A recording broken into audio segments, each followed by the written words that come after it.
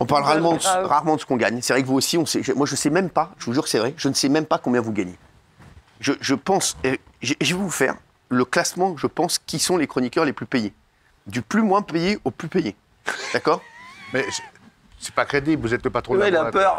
Mais non, non, non, mais je vous jure que je ne sais pas combien vous êtes payé. Je le dis, c'est une exclusivité. 19h34, on est en direct.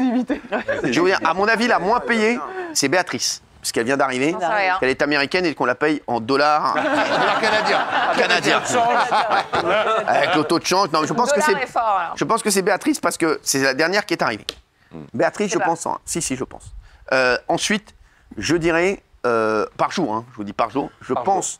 Je pense qu'après, ça doit être. Ça doit être Gilles, parce qu'il vient beaucoup et qu'il n'a pas besoin de Comme il y a du volume. Ah, c'est par Master volume. Sport. Non, non, Gilles, voilà. Gilles. En- après, je dirais, je dirais, je dirais Guillaume.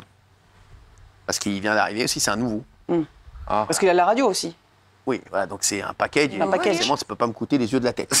Euh, ensuite, je dirais égalité Géraldine, Raymond, Benaïm, Delphine. Je dirais les quatre. Et ensuite, je dirais les deux à égalité. les mieux payés, je pense que c'est Castaldi et Delormeau. Ah, C'est là qu'on voit que vous connaissez vraiment Ah, pas les de votre ouais, société. hein. Eh bien, vous savez ce qu'on va faire Pas du tout. Je vais me renseigner auprès de Lionel Stan, qui est le directeur général et qui est en régie. Ouais, et vous verrez bien. Et je vous dirai la vérité dans un Par mois Vache. Ah oui, oui. ah bah oui, par moi. Pour l'exclu seulement. Les Ah gars, oui. j'ai le classement des mieux payés.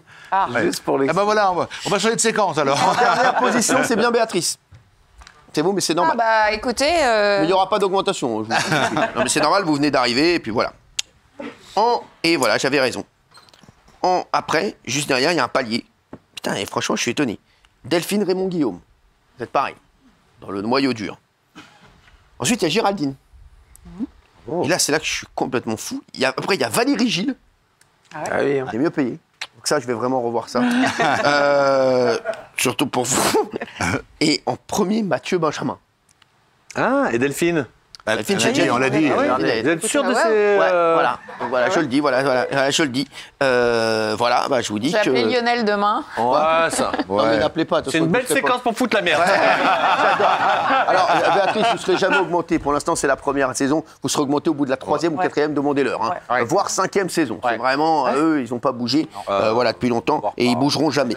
Euh, les chéris, c'est l'heure du buzz du jour. On va parler d'une affaire qui risque de rendre fous les défenseurs de la cause animale. Lundi, un homme de 40 ans a été arrêté par la police de Strasbourg pour avoir jeté son chien par la fenêtre euh, de son appartement.